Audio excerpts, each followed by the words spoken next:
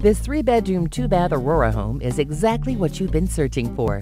This home features a low maintenance front yard, new kitchen flooring, new sewer line, and updated bathrooms. There's also a sewing craft room with built in cabinets and shelving. The great backyard offers a garden area with fruit and herbs, plus a gate to the greenbelt with walking paths and biking paths.